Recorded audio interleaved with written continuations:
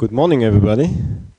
Winter slowly arrives in Munich, so perhaps next week there's already some snow. I don't hope so, but yeah, it looks like this. Um, welcome to Mixed Signal Electronics. Today we continue the switch capacitor chapter that we have started last week. I hope you had some time to go through this and to remember a little bit what we did. So the basic idea was that we want to get rid of ohmic resistors in a circuit. The reason was mainly the high variability of these devices and also the difficulty to implement uh, resistors with a high uh, resistor value in a small uh, silicon area. So therefore we had a structure like this we used a capacitor and a set of switches. And what we did is to open and close these switches alternately in a way that at no time both switches are conducting. So the cap is either connected to this input port or to the output port here. So we are pumping charge from one node to the other. So we charge the cap to the one node, then we separate it from that node, then we connect it to the other node, and then a charge balancing occurs with the cap that is connected here or whatever is connected here, and therefore we transfer charge from here to here. Of course, this is a discrete process. It's not continuous that you might say there is a continuous current flowing from this node to this node. It's more or less a peak of current that occurs when we close one of the switches. But if we look only at discrete time instances, the effect is that in an interval t corresponding to the period of opening and closing these switches one time, during that period we transfer a certain charge. So an average this corresponds to a constant current that also flows in this time. And then we saw that a structure like this can be represented by an equivalent resistance. So what I want to do now is to take a very important building block in analog electronics, which is the integrator, and the integrator is a building block that is very often used in filters. It is also used in data converters, such as the sigma delta converter. And hence it makes sense to analyze this important circuit uh, also with respect to a switch capacitor implementation. The basic circuit of a single-ended integrator is that we connect a resistor R to the inverting input of an op amp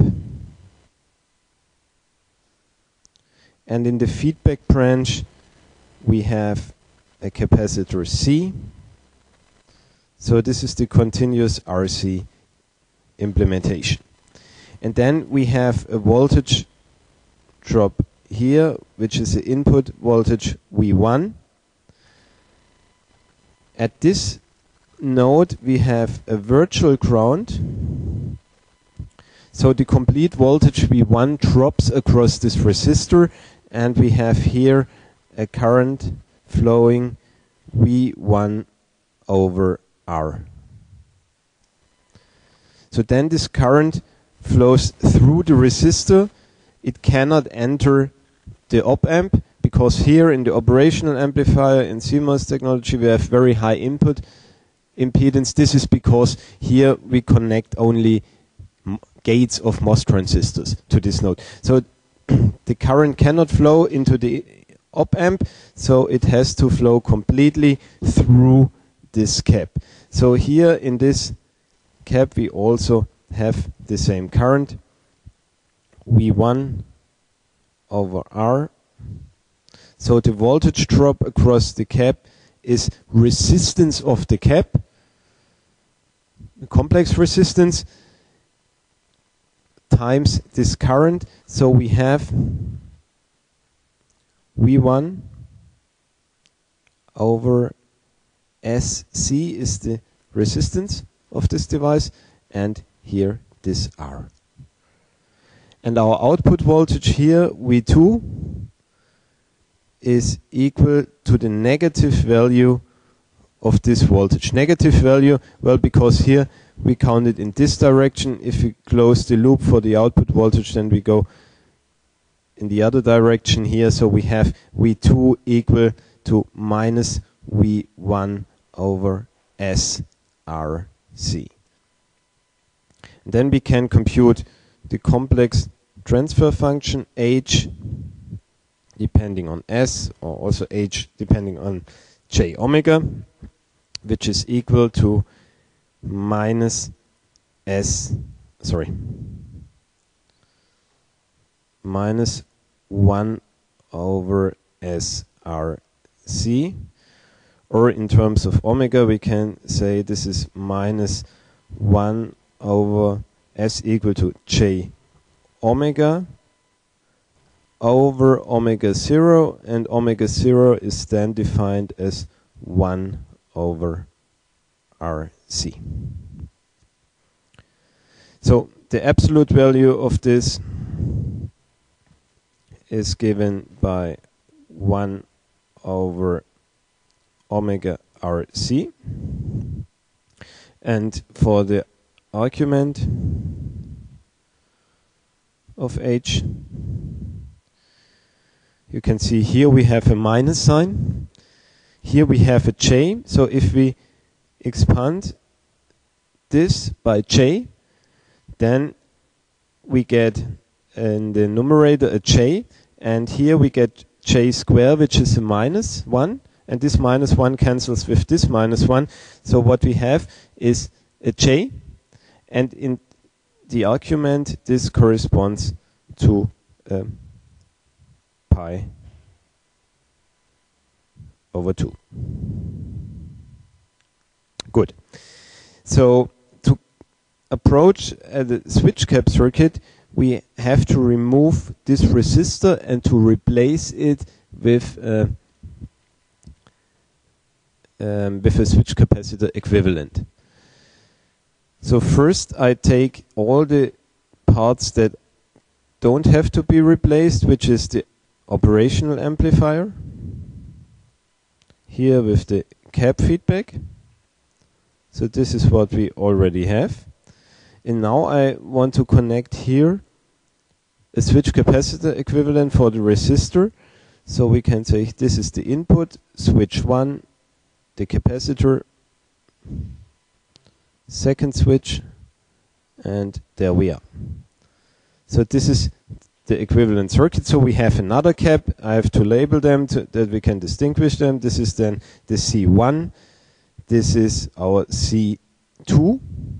And we have to control these switches by different phases of a non-overlapping two-phase clock. So we can say this is the clock phase 1 and this is the clock phase 2. Okay. You see that now the circuits become a little bit more complicated. So last week we had only this um, this part here, the resistor equivalent. Now we have an operational amplifier, we have this cap. So there is a need for a systematic way to analyze such a circuit. And the best thing to start is to label the polarity of all caps. So why is this? We have caps and we use switches to reconfigure the circuit, to connect the caps in another way. And the risk is that if we go from one phase to the other, that then by accident we reverse the cap in our calculations. And if this happens, then of course the result is, is completely wrong. So we have to remember which plate in the one half circuit corresponds to which plate in the other in the other phase. And therefore it makes sense to label to simply label the caps in order to not reverse them accidentally. So I usually mark any plate of each capacitor by a plus sign, just to remember where, or just to give the cap a direction in the calculations. This plus sign does not mean that there is always a positive charge on this cap. So a common failure is that beginners make is to say, okay, where is where is a positive charge on this cap? And this one is the one I label with a plus. So this is this is the wrong way, because you can imagine here if we have a positive input voltage, then we have the positive charge on the upper plate. If there is a negative uh, input voltage, then it's the other way around. So the, for the calculation, this is irrelevant. So don't try to, to figure out which which plate carries the, the positive plate. Just label them arbitrarily. But if you have them labeled once, then then, then don't change it anymore, because then you get uh, you get a failure in, in your computation.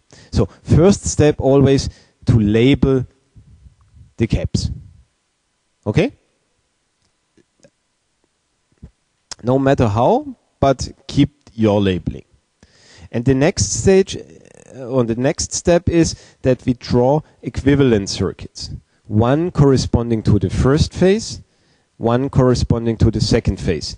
And by doing this, the circuit becomes much simpler and easier to analyze because then you don't have to, to think all the time, is it connected there or is it connected there? No, then all switches are gone. So let's let's do this for for this circuit. I will copy it uh, quickly. So here we have the switches. This was our C1 with the plus here. This was the second switch here.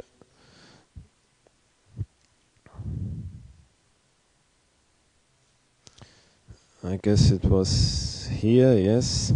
There we have the plus and this was the C2. This was phase 1. This was phase 2. Okay.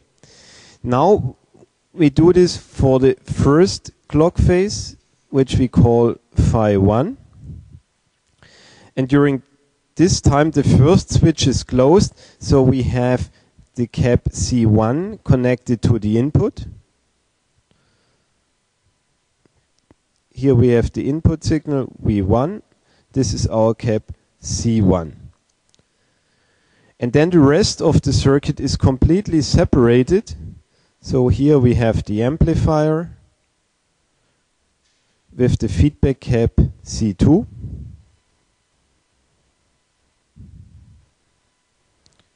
And the direction is like this. Okay. Next step is we open this switch and we close this one. By opening this switch, we separate the cap from the input. So in the phase phi 2, we have the input voltage V1 and this is connected to nothing. However, this cap C1 is now connected to the virtual ground of the amp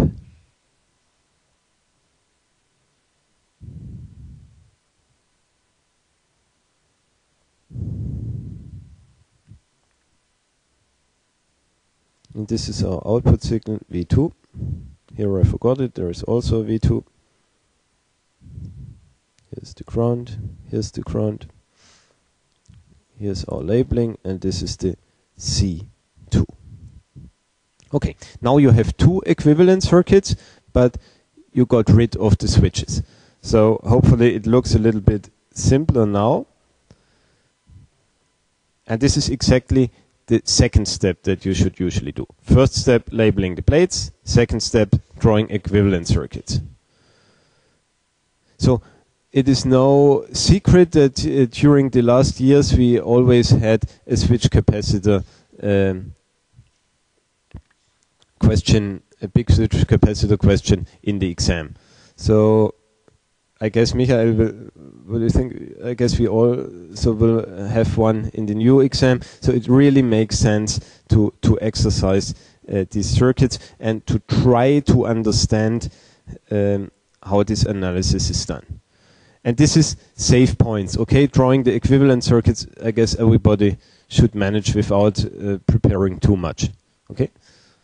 And what I want is that you also exercise the next steps, which are not so much more complicated.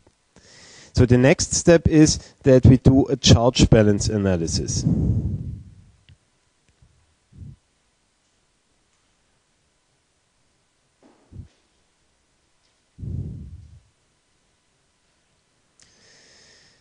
This means that we go back one period in time and to start the analysis of the circuit phase by phase and during the different phases there is a charge transfer and this is what we have to calculate. So a common question is how far do I have to go back in time?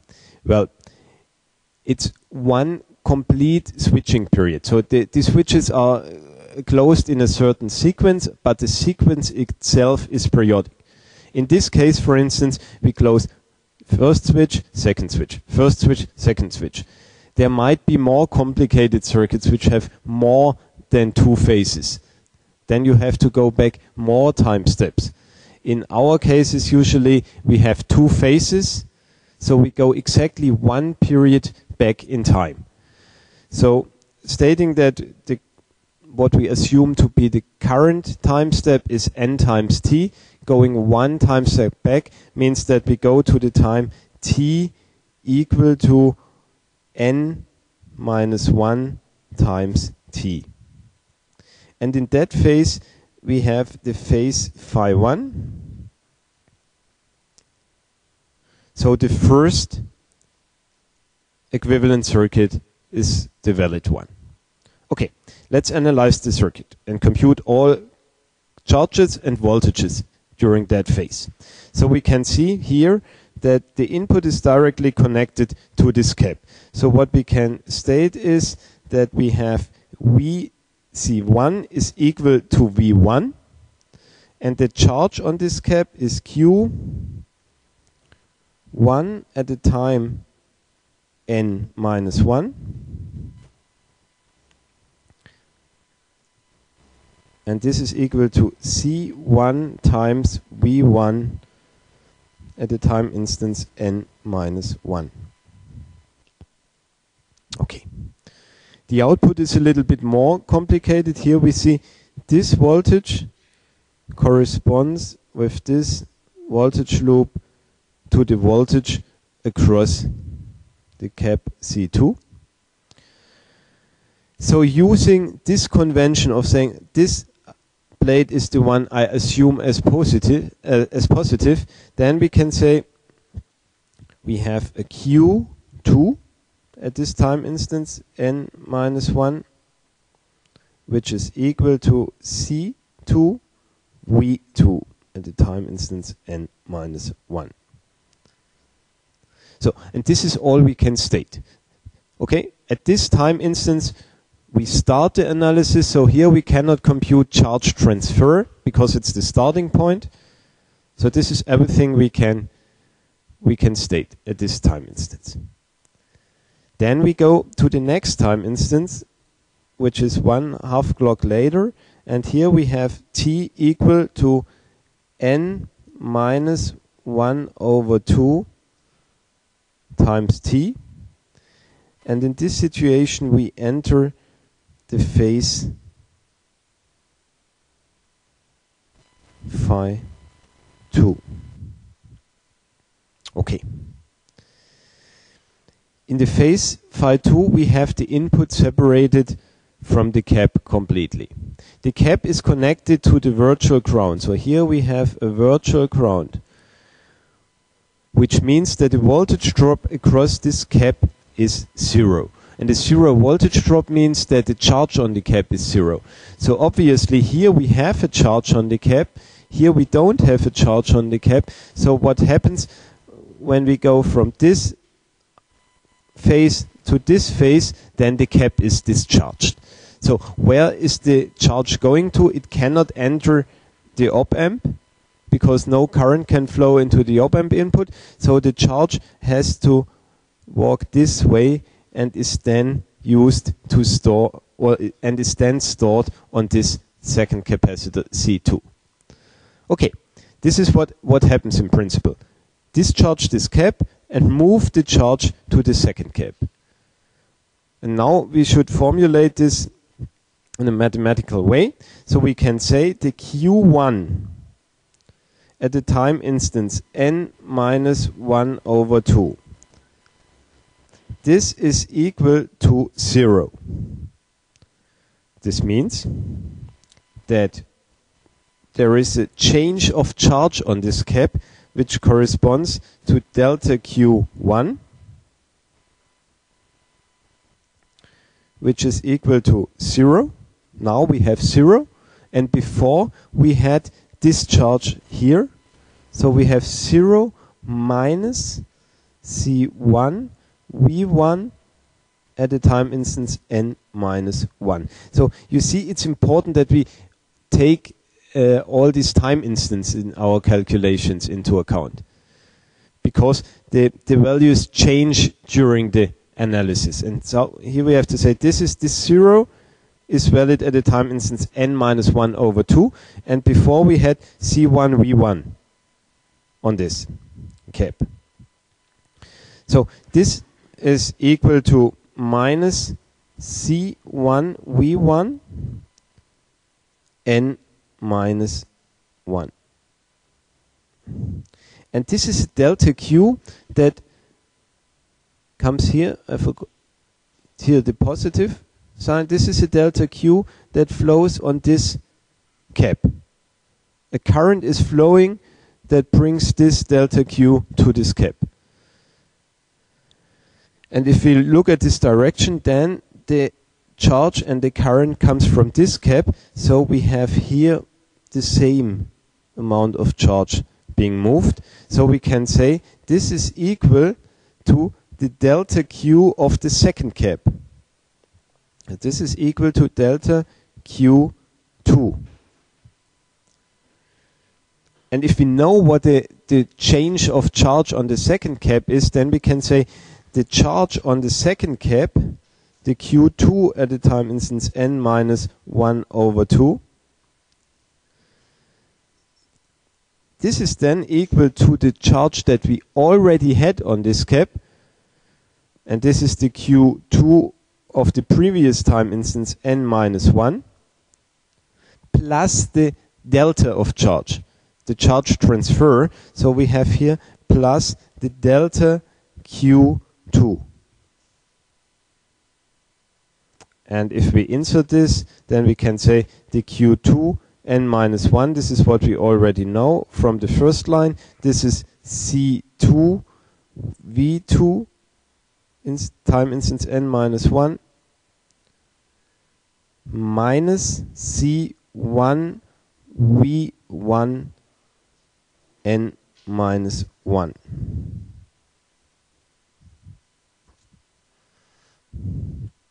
Okay. This is what, what I call a charge balance analysis. Okay, we start from a time instance, then we go to the next phase. In the next phase we can compute again the voltages, independence of the terminals.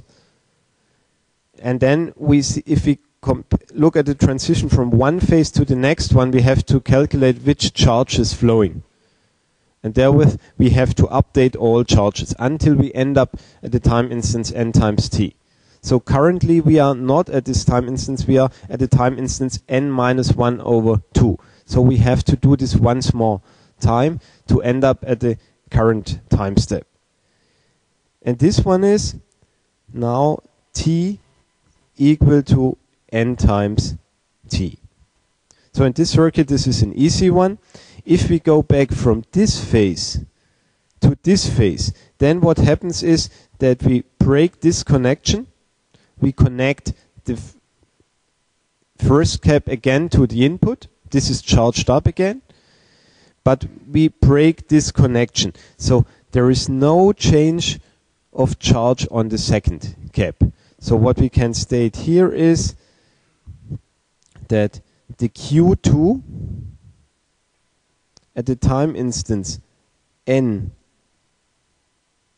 is equal to the q2 at the time instance n minus 1 over 2. Okay?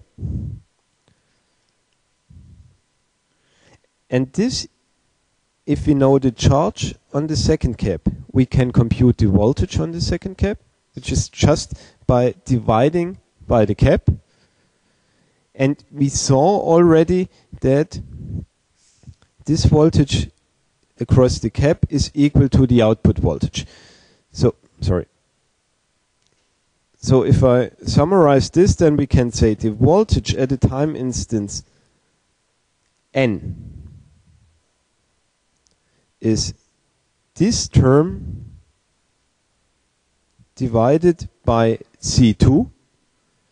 So we have here, this is equal, if I divide this by C2, then I have V2 at the time instance n minus 1 minus C1 over C2 times V1 also at the time instance n minus 1.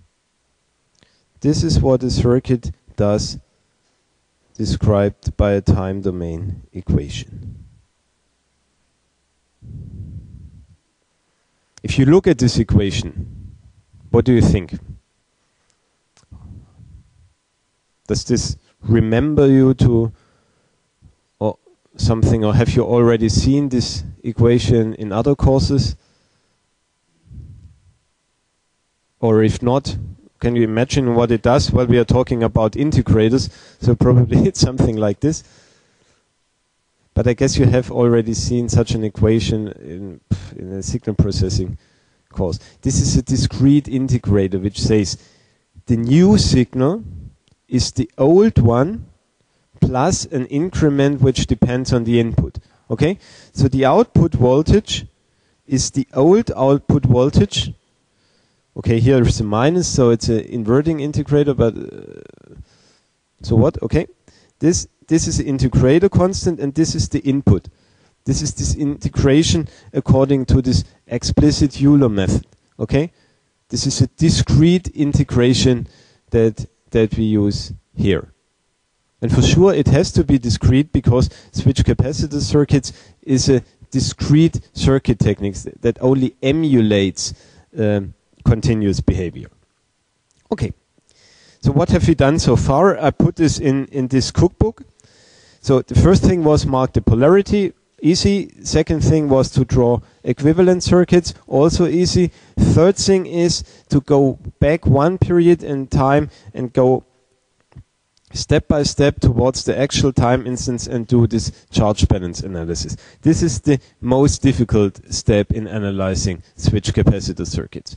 And this needs uh, some exercising. So Michael will do this in the tutorials and yes, I already said it. I also want to encourage you to, to do this uh, on your own and really to understand what stands here in this cookbook and what is uh, hidden behind these steps. Okay. There is three more steps missing, and this is what I want to do now. This is exactly what we also did uh, during the last lecture. First, we derive a time domain equation. This is what we did so far. This is a time domain equation of the circuit behavior. And then we transfer this into the frequency domain and analyze it there.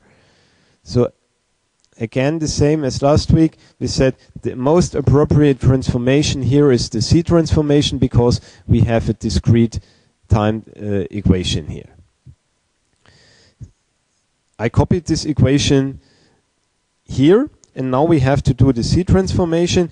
Here you see it's a linear equation, the coefficients here and the operator here simply remain the same in the frequency domain. The only thing is here we have a time shift and this time shift is translated in the z to the in a z to the power of minus 1. So what we can write here is simply v2 in the frequency domain is equal to z to the power of minus 1 v2 minus c1 over c2 z to the power of minus 1 v1. Okay. That's it. So now we have to sort this, bring all the v2s to one side, uh, leave the v1 on the other side, so we can say this is 1 minus z to the power of minus 1 v2 equal to minus c1 over c2 z to the power of minus 1 v1 And then we can compute the transfer function hc given by v2 in the frequency domain over the v1 in the frequency domain. And this is simply equal to this constant minus c1 over c2 times z to the power of minus 1 over 1 minus z to the power of minus 1. And perhaps this is again something that looks familiar for you as a discrete time integrator.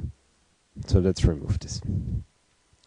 And then the next step is to say, okay, now we have an equation in terms of z. We want to compare this to a continuous time equation in terms of j omega. So we have to evaluate here the frequency variable on the unit cycle. So what we say is z to the power of minus 1 is equal to e to the power of minus j omega t equal to cosine omega t minus j sine omega t. So, no, this one was too much. Okay. And then we can say for small frequencies, this is approximately equal to 1 minus j omega t. So this is for small omega. Do you, a, do you remember why I do this approximation for small omegas?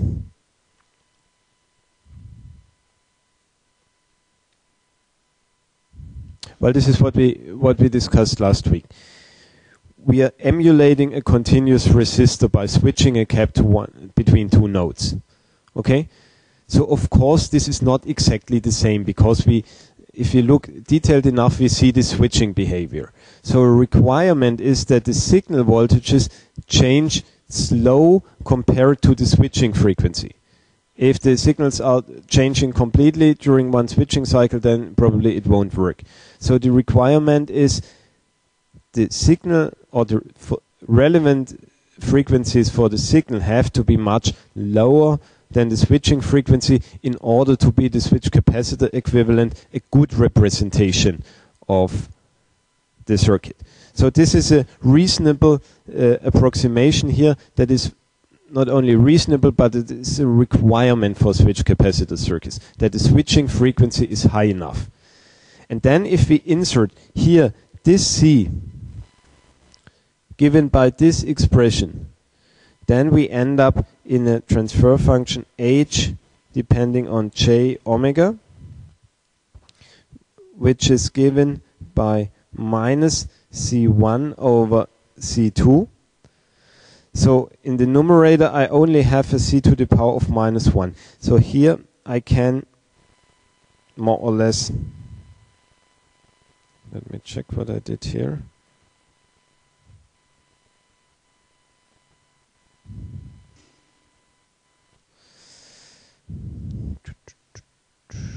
Okay, now I, I made it even more exact. So we use this approximation only later. So we insert, remove this also, I need some more space. We have here h depending on j omega is equal to minus c1 over c2 e to the power of minus j omega t. And here I have 1 minus e to the power of minus j omega t. And this is a calculation trick that we also used in our first lecture, and I guess Michael used it also, that we say, okay, we take the square root of this term and bring it in front of the complete term.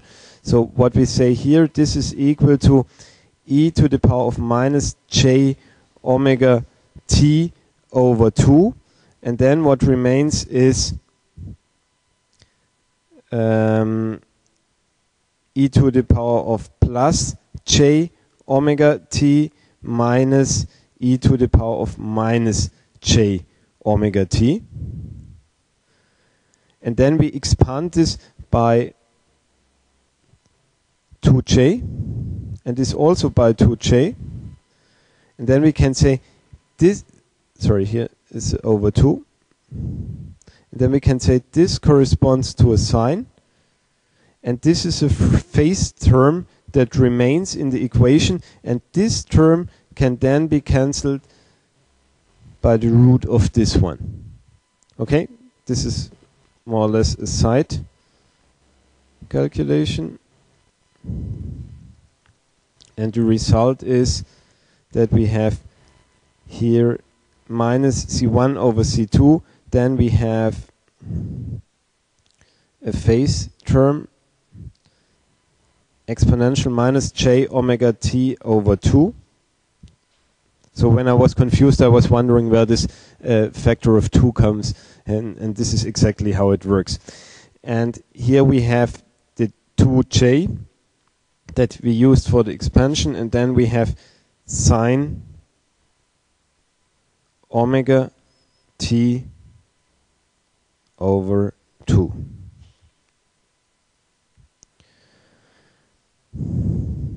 Okay, and then for small frequencies, the sine is more or less equivalent to its argument, and we can say what at the end we have minus c1 over c2 exponential minus 1 over 2 j omega t. This is a phase term that corresponds to a basic delay of half a clock cycle. And then, this is interesting here, we have j omega t. So this is our transfer function. And then let's think back to what we what we had at the very beginning. Here we wanted to build an equivalent for the continuous time RC integrator. And here we have seen this is equal to 1 over j omega over omega 0 and the omega 0 was 1 over RC. And now we have a similar term which is a prefactor and then the phase term and then 1 over j omega t. So if we compare this, then our omega 0, which was 1 over RC in the continuous case, is now given by this term and the t.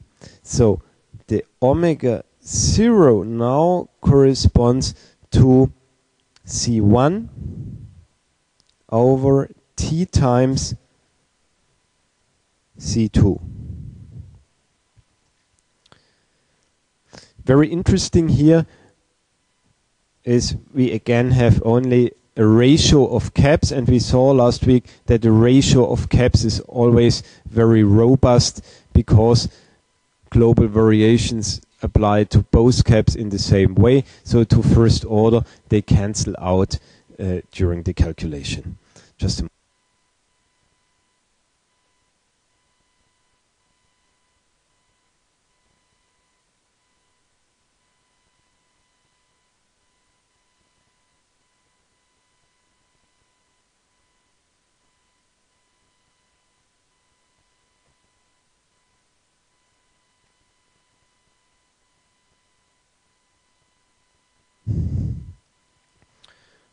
Okay, sorry. Is there a question so far? Third step, and this is one we usually don't ask in the exam because it's more difficult to, to sketch this. The next step is to simply plot the transfer function in the Bode plot in order to understand what it actually does. And I did this for you, and you can see the blue line is what we expect from the continuous RC integrator. So it's a, it's a continuously falling behavior with this minus 20 dB per decade. The red one, which is the switch capacitor equivalent, corresponds very, very good to this blue one for small frequencies. And then, however, if we come to higher frequencies, so here we see the periodicity of the discrete time system. Then of course there is a deviation and if for very high signal frequencies if we approach the switching frequency then it is not a good equivalent anymore. So we have to design the circuit such that this region where we deviate from the curve that we want to implement is far enough away from all frequencies that we want to use. And if our frequencies of interest are somewhere here, if the switching frequency is high enough, then it's really perfectly working. And we have a switch capacitor equivalent that represents the function of the RC circuit. We can also analyze this in the time domain a little bit. So here I had or I have an example voltage here and if you look in your lecture notes then you see that the first cap is always connected to the input in the first phase and discharged in the second phase. So we can say in the first phase we charge the input cap to this voltage and we follow this voltage. And then it's like in the sample and hold circuit, which is better called a track and hold circuit, that as long as we connect the storage cap to the input, we follow the input voltage, then we turn this switch off here. So the signal remains constant here. The first cap is disconnected from the input. And then in the second phase here, if we go up here, then we discharge this cap because we connect it to the virtual ground. So we discharge it here, and then we are at zero. Then when we turn it on again, we charge it up, keep it constant, and here we discharge it again. Keep it constant, charge it up, and discharge it again. So while I'm drawing this as a design engineer, what do you think is the challenge in building this circuit? Or the challenges?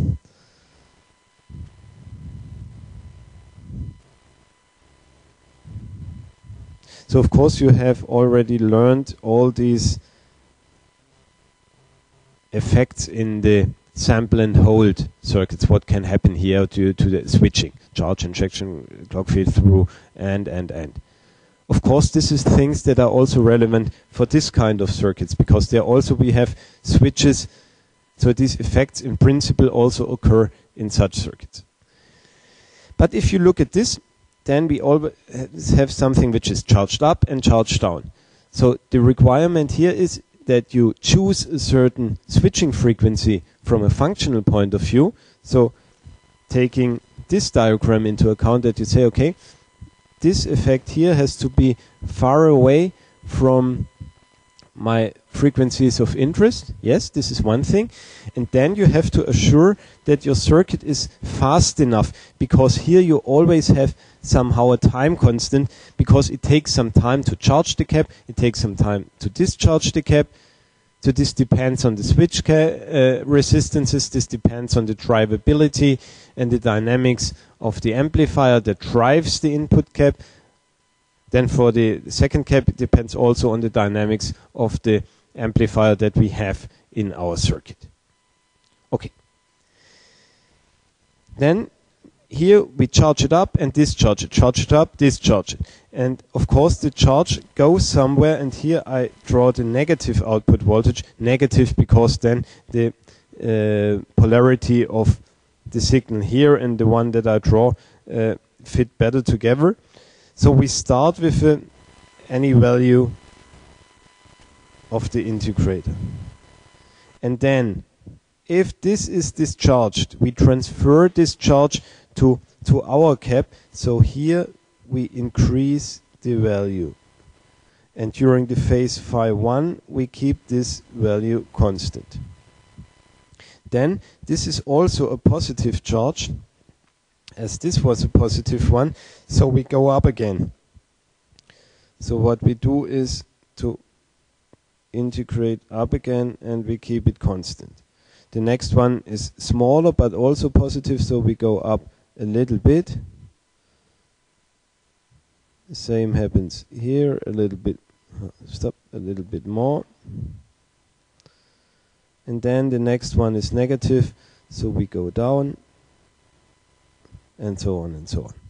So this is what how this integrator works. Okay, here we we pump charge from the input to the storage cap and then depending on the polarity we go up or we go down. Exactly what a discrete integrator does.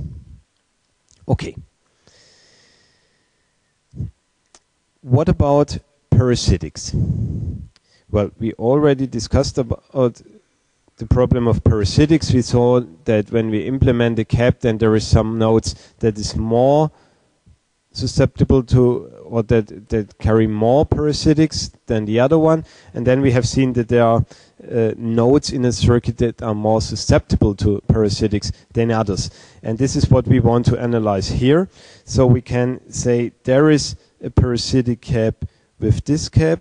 So let's call this uh, CP1 here we have a parasitic cap C P2. There is one connected to this node. Let's draw it here. This is a CP3. And here we have a CP4.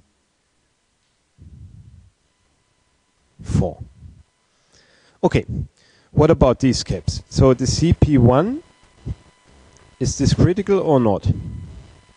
What do you think?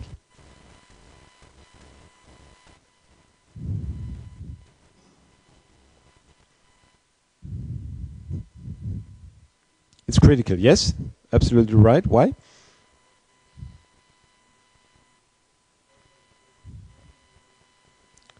Right, right. So what you say is that the C1 and the CP1 are parallel, so we cannot distinguish it during the operation. So this alters the, the value of the C1 and so we get different transfer behavior. So this has a direct impact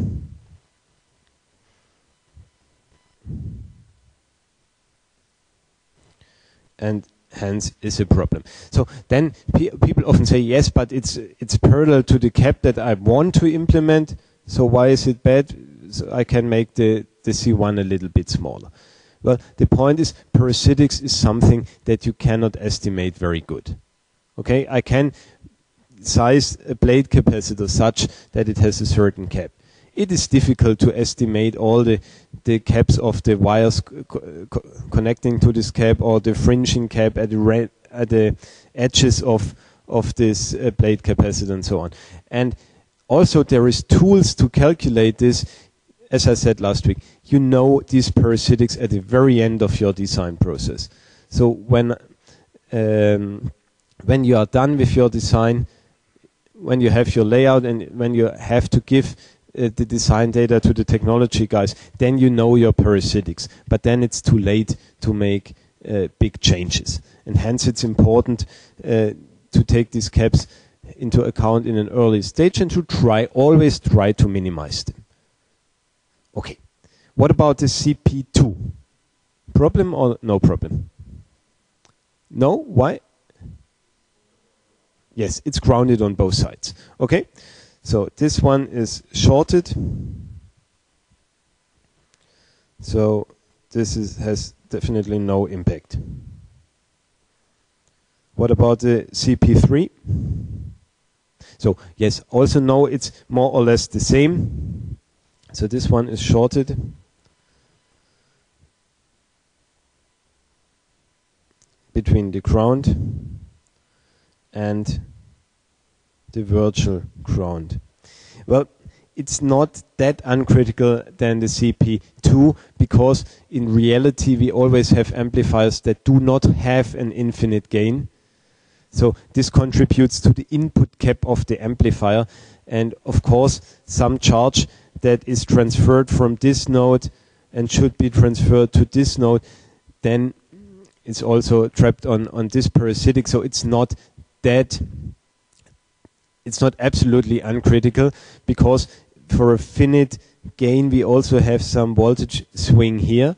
But if the gain is high enough we can can get rid of this. Okay finally the CP4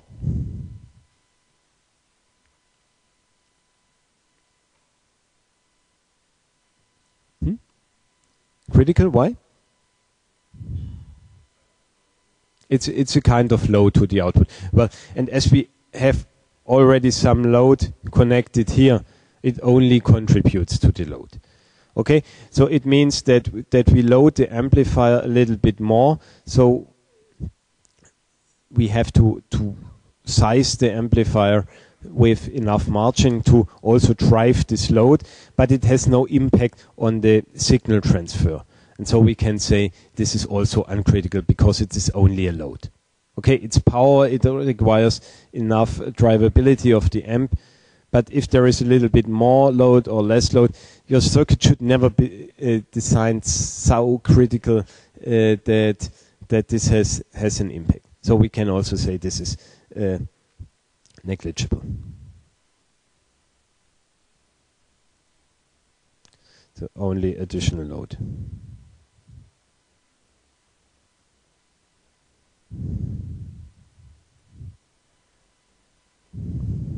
Okay. Before I continue, I want to mention some, something else. So what we did so far is to say we start with an RC circuit and from this RC circuit we replace the R's by one of the switch capacitor equivalents that we already had. So let's assume you have an amplifier like this. The inverting amplifier. Very common, sorry, very common circuit in analog. You have two resistors configured around an op amp like this. Okay. So then you might say, well, two resistors, I have to do the replacement two times. So we can say we replace the first one by a switch cap equivalent.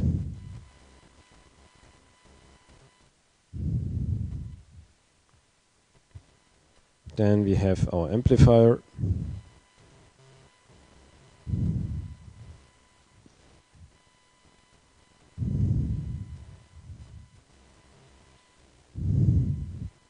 And then we replace this guy also by a switch cap equivalent.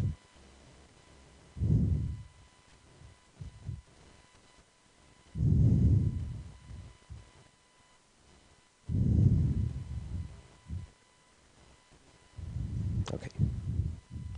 What do you think about this? I simply did the same step twice.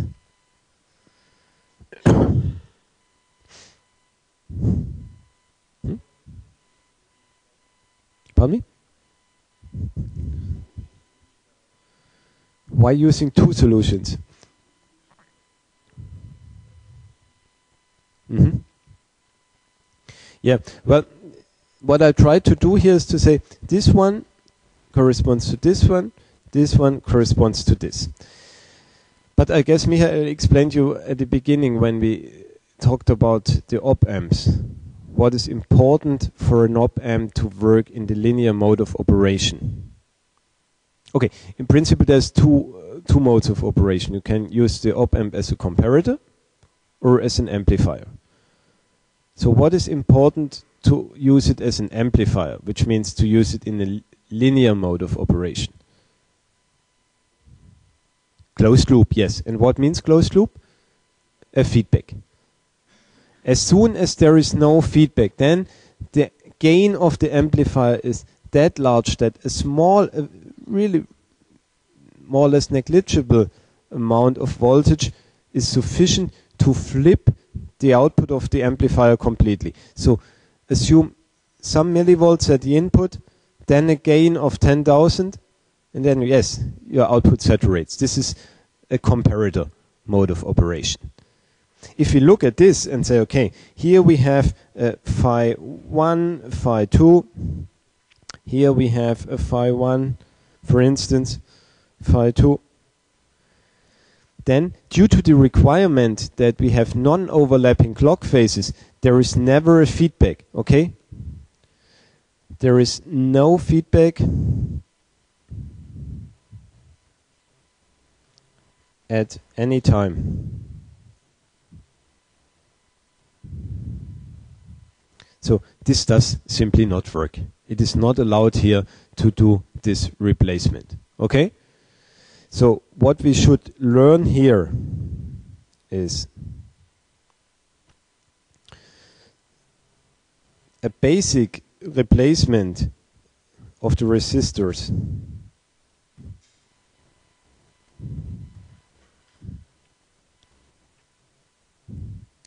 is not always possible.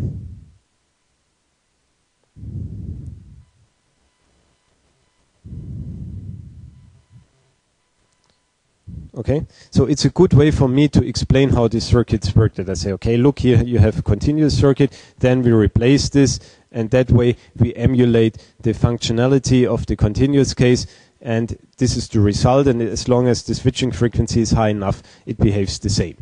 Yes. However, it is nothing that is uh, valid in general. That you say simply remove all or replace all resistors by this. Okay, so basically an amplifier as shown in the upper left corner cannot be implemented like this. I will show you today another implementation of an amplifier, but please keep in mind it's not possible to in all cases to simply replace this. And especially in, in closed loop circuits, be sure that the feedback is functional at any time. Otherwise, your circuit does not work in linear mode of operation. Your amplifier does not work. Okay. Let's come back to the integrators one more time. We have seen that the integrator that we had is susceptible to this parasitic capacitance, especially uh, at the, the, the top plate of the input cap. So here is two more implementations of integrators. And for these two circuits, I only will hand waving or in a hand waving way explain how they work. And I will leave it as an exercise for you guys to go through this circuit and, and to exercise the analysis of this. So in the first example, we again have an amplifier with a feedback cap. So this part acts as the integrating stage. And what happens here is that during a phase phi 2, we separate this input cap from the output stage and we discharge the cap by these switches. So we have at the beginning of each phi 1 phase always a discharged cap and then we close these two switches here and here and the current is flowing through this cap charging this cap up also to the input voltage because we have a virtual ground here. And then the current flows like this and charges this cap up. The result is that we have a transfer function, and please exercise this, given by minus C1 over C2, 1 over 1 minus z to the power of minus 1.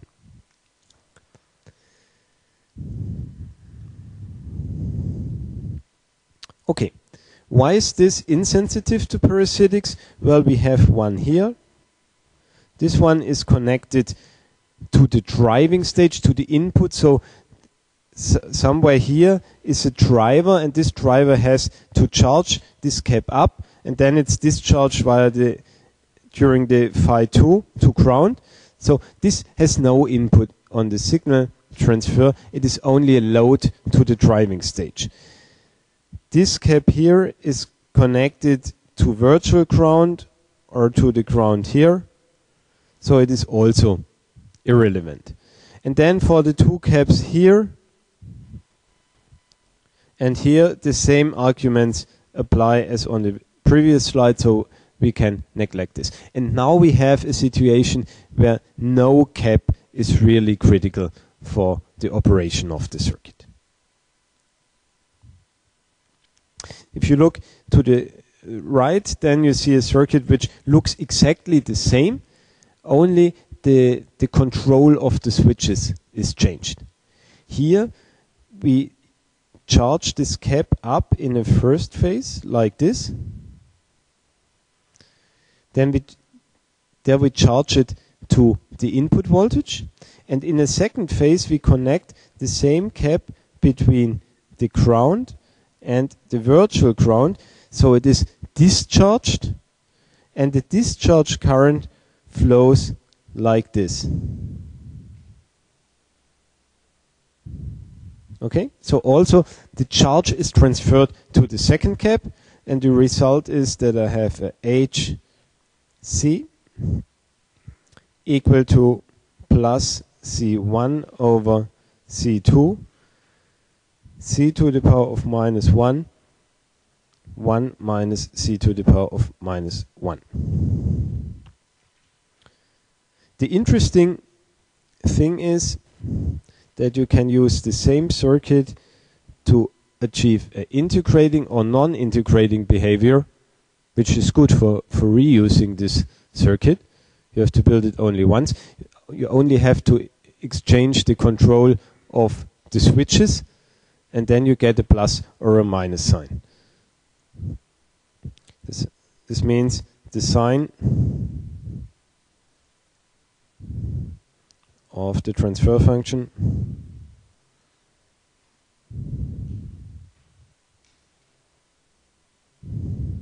can be changed more or less digitally by exchanging the control signals.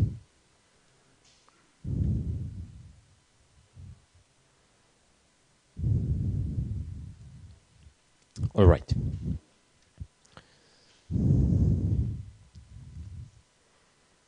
Yes, please. Sorry, sorry, can you speak louder? Yes.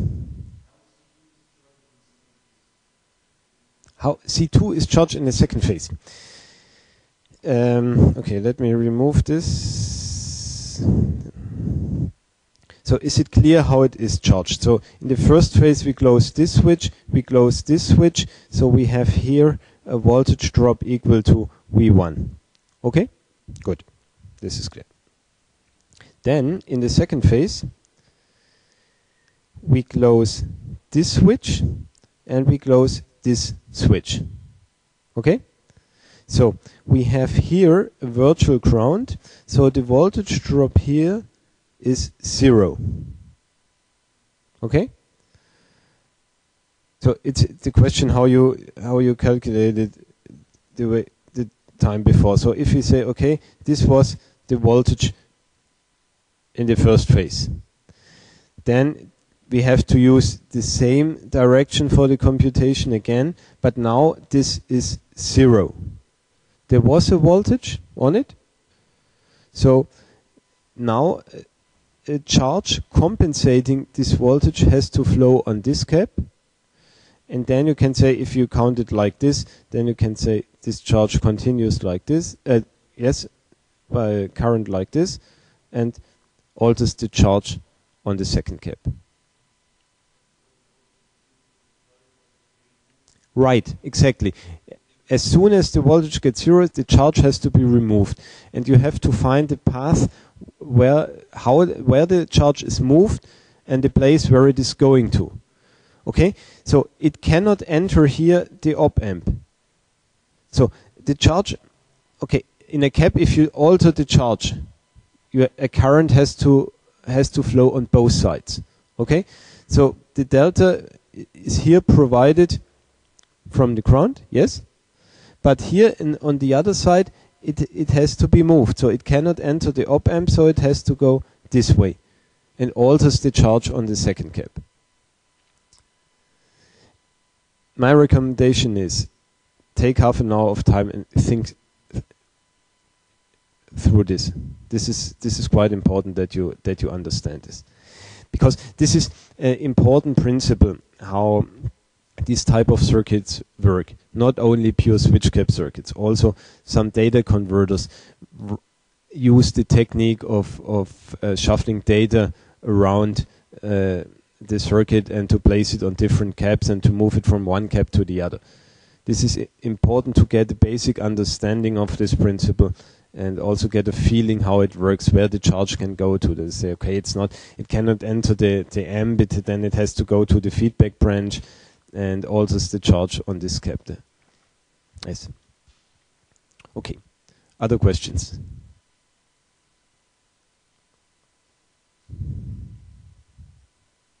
Good. Then we discussed the switch capacitor amplifier. So we have uh, seen that we cannot implement an amplifier by simply replacing the caps. So here is a circuit that some people invented as a replacement or as a switch capacitor amplifier without the problem that we don't have a feedback. So you can analyze this with this cookbook approach. No, no problem. And you should also do this. However, we can see here that during the phase phi 1 we connect this cap to the input and we connect the second cap to the feedback branch.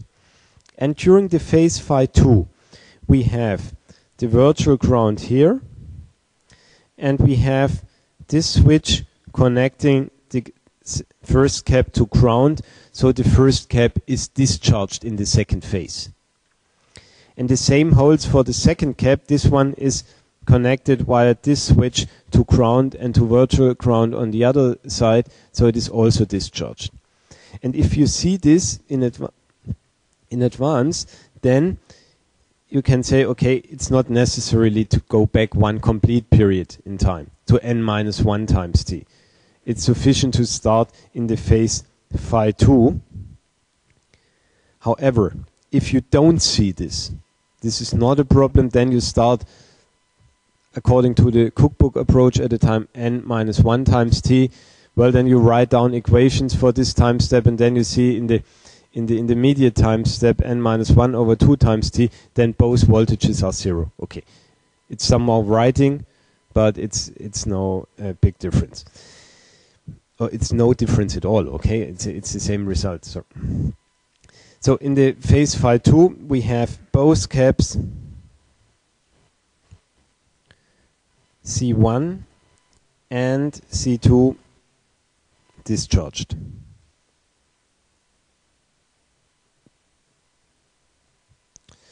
And the op amp is reset.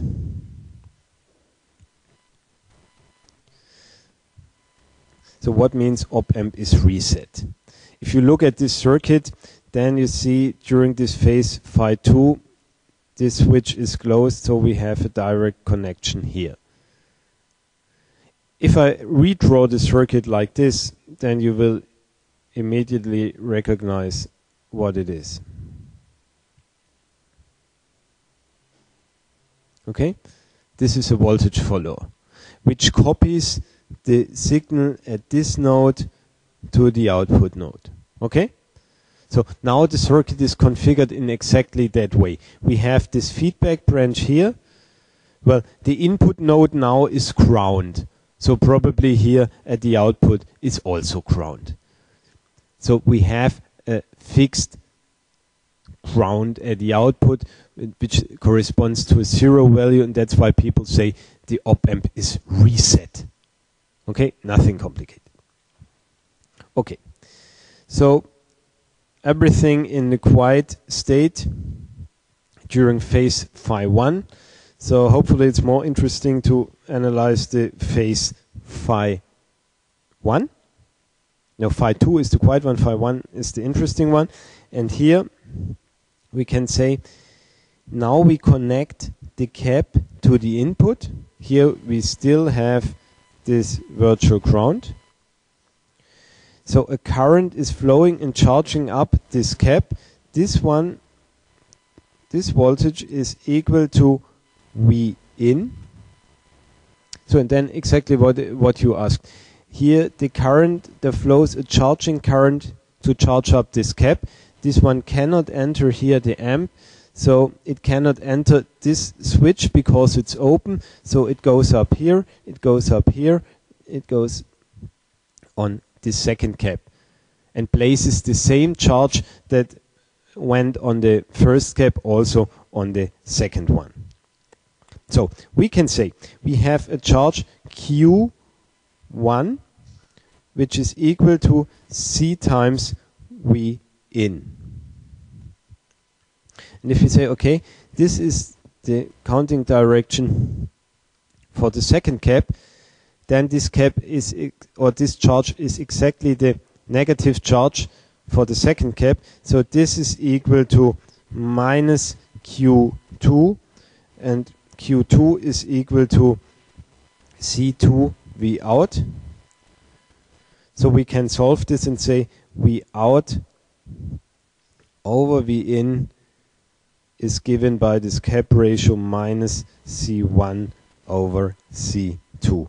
And you see it is also possible to implement an amplifier in switch capacitor technique. However, it does not look exactly like an amplifier in the in the continuous case. Okay. Well, what about offset voltage in this context? Uh, Michael, have you used or have you discussed offset voltage so far? For the basic amplifier. Okay. So one very common question in our exams is, uh, here you have a circuit, um, model the offset voltage of the operational amplifier. And then, uh, I haven't understand why, but then strange things happen. Because uh, when I ask people to take an operational amplifier and to, to model the offset voltage, then some people make offset voltage like this, or suddenly the offset voltage becomes an offset current or whatever. And the basic idea is to model the offset voltage by placing a voltage source in series to one of the input terminals. So in principle you can take one or the other. This is not a big deal. But you have to place it in series. Okay? So what I want to see then is that you place a voltage source like this. The direction is also irrelevant because the offset voltage is something that is usually caused by variation or by aging or is something undesirable and unpredictable. So it happens in one way. Okay? For instance, due to uh, threshold voltage mismatch in the in the differential pair. But hence you cannot say during the design it has this direction. It is only important that you model it here and then you can take it into account during your circuit analysis and can figure out whether the circuit is susceptible to this or not. Okay. Here we can say the offset voltage is modeled by a voltage source in this branch and I choose the direction like this. So we have a V offset here. So let me find, yes, it's a free slide. Here I put the offset voltage like this. So what is the input of uh, the impact of this voltage source? Does it disturb the operation of the circuit? What do you think?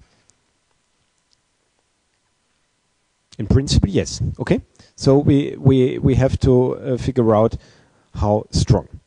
So we start again with our phase phi two. And then we can say here the voltage across this cap is now V1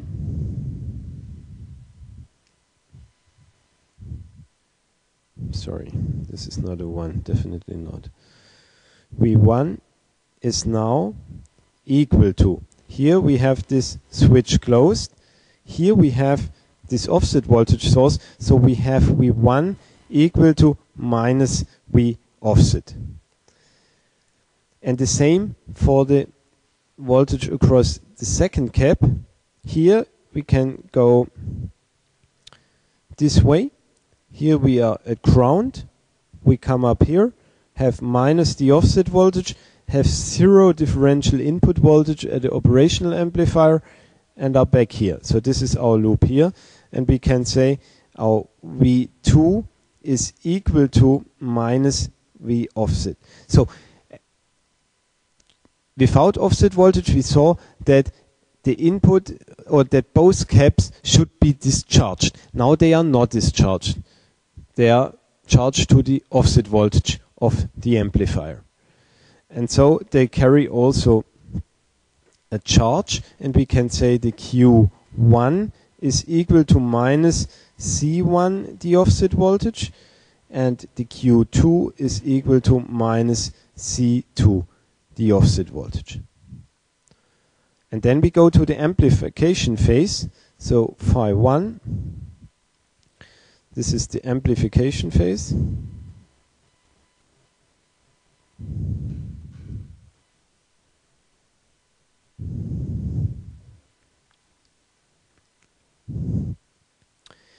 here we connect this cap to the input. However, the voltage across the cap is now not only the input voltage, it is input voltage minus the offset voltage. The voltage drop here across the amp is again zero because we work in linear mode of operation. So we can say the V1 is equal to V in minus V offset. So the charge is Q1 equal to C1 V in minus C1 V offset.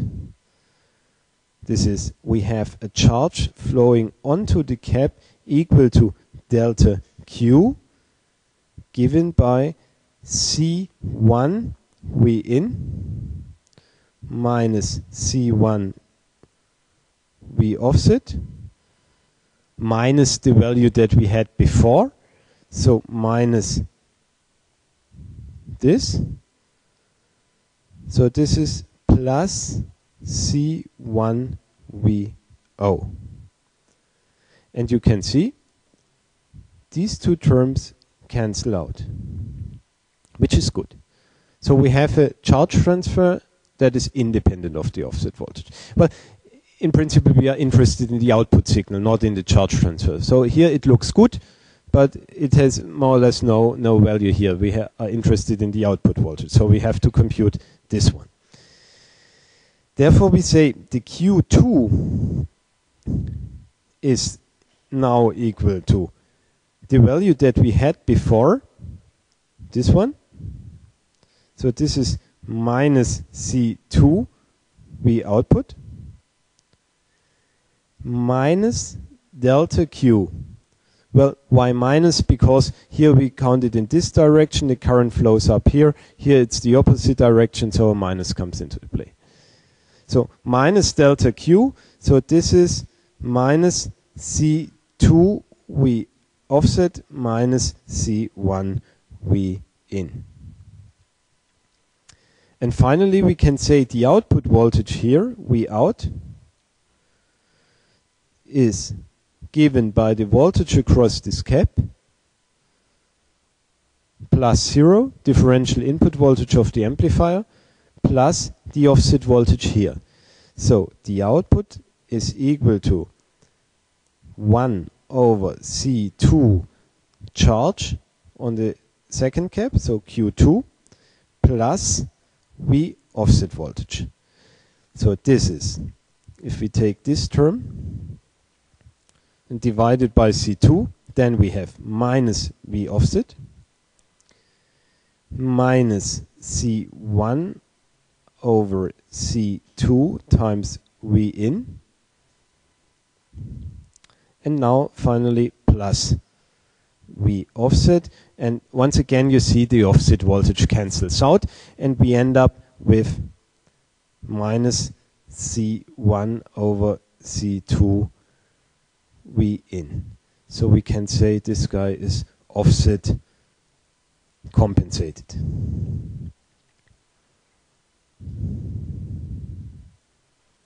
This is another very, very important property of switch capacitor circuits. Analyze your basic inverting uh, continuous time R-based amplifier into the offset voltage and you will see this offset voltage is there and disturbs actually your operation of the circuit. However, here in the switch capacitor circuits we use a technique which is sometimes called a correlated double sampling or error sampling or there's lots of different names for this which means we know that there is a non-ideal uh, effect in the circuit and then we do sample this. And we do sample this for instance in the first phase. Here the offset voltage is stored on the two caps. And then in the second phase in the actual uh, phase of interest then this previously sampled error is combined with the other signals in such a way that it cancels out. So why is it called correlated double sampling? Well, of course, the offset voltage has to be the same in the phase 2 and in the phase 1, otherwise it cannot cancel. And this is the case for the offset voltage because this is then more or less a constant that does not vary during the operation or only very, very, or change only very, very slowly. This is a technique that also applies to the low frequency component of noise. So there are circuits that use this technique also to cancel out noise. But of course only this applies only to low frequency components. The cancellation does not work if the if the signal or the disturbance, not the signal, the disturbance changes in between these two phases. Okay. One final comment to this circuit. Let's look at the signals here. Let's assume that we have an input signal given by the dashed line and we have these two phases here a phi 1, a phi 2, a phi 1, phi 2, and so on.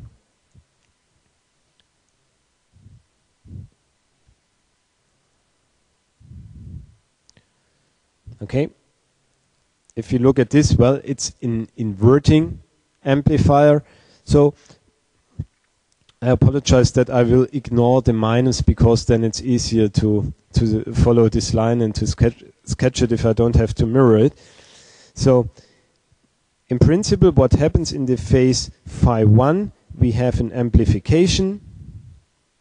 In the phase phi 2, we said we reset the operational amplifier to zero, or in the case that we have an offset voltage, the output does not go to zero, but it goes to the offset voltage VO. So the circuit behaves like this. Then in the phase phi 1, we amplify again here we reset it. Then we amplify again. And so on and so on. So, after a couple of hours mixed signal electronics, you should be concerned about a curve like this.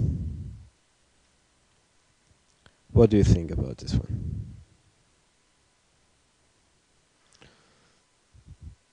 At the beginning we said there is no ideal Dirac, there is no ideal step, there is always time constants. Some people say there is always a finite bandwidth. There is from coming out of amplifiers always a current limitation. A real operational amplifier cannot provide arbitrary amount of current. So Michael, I guess you know this very good from your research topic.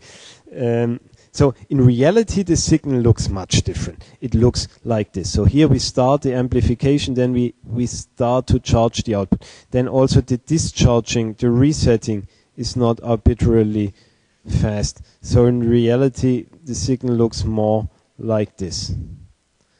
And of course, this limits the speed of operation because we have large transients here always even if the signal does not change even if the signal is constant we charge it up then we reset it. We charge it up we reset it. And hence the speed of the circuit is limited. And it would be desirable also with respect to disturbances to to get rid of this strongly switching behavior or to simply it would be desirable for instance to keep the output here constant during one phase and then in the next amplification phase we simply have to charge it up by the difference and there is indeed a circuit that can do this and this is the circuit I will use to begin the, the next lecture next week. Okay? So if you have questions, you can also use our forum. But I saw nobody used it so far. So either everything is is clear or you are totally not interested in this stuff. Okay. I wish you a nice week. Thanks for attending and have a good time. See you next Monday.